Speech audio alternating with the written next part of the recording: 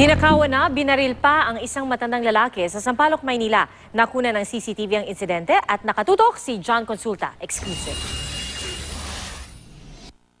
Pasado alas 3 ng hapon nang makuna ng CCTV sa Earnshaw Street, Sampaloc, Maynila, ang isang matandang lalaking may sokbit na bag at isang nakamotor na tila may inaabangan. Naglakad ang lalaki. Pagdating sa dulong bahagi ng kalsada, tumawid ang isang suspect para salubungin ng lalaki. Habang ang lalaki nakamotor kanina, tinulak ang biktima at tinangkang hablutin ang sokbit na bag ng matanda.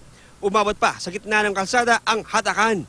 Pero ang isang suspect biglang binaril ang matanda. Mabilis na tumakas ang dalawang suspect sakay ng motorsiklo at dumiretso sa bahagi ng Lacson Street. Tangay ang bag ng biktima na may lamang pera. inabangan talaga siya parang ano na talaga nakaplano yung ano nila yung gagawin nila. Di patukoy ang pagkakalinlan ng 72 taong gulang na foreman. Ayon sa Manila Police District, galing sa bangko ang biktima. Ipapasweldo raw sana ang perang kinuha ng mga suspect. Ayon si MPD, alam daw ng mga suspect ang kilos ng naturang foreman kaya tinitingnan ang anggulong inside job sa nangyaring krimen.